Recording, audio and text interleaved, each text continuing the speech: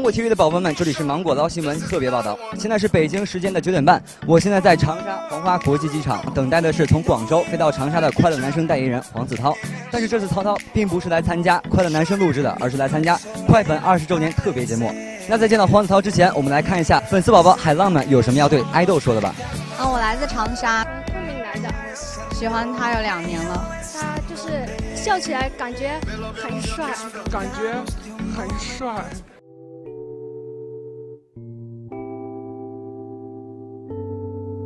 无时无刻对你的想念，想念一起的触碰，喘息时的你怎么因为有了还是那么玉树临风，特别潇洒。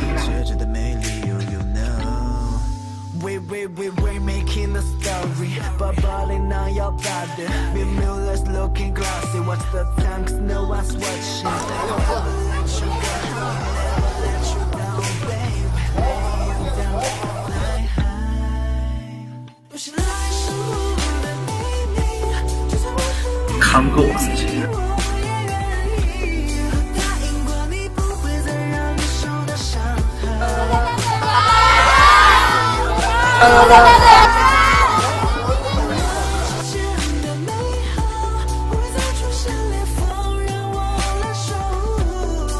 我就是太激动了，因为。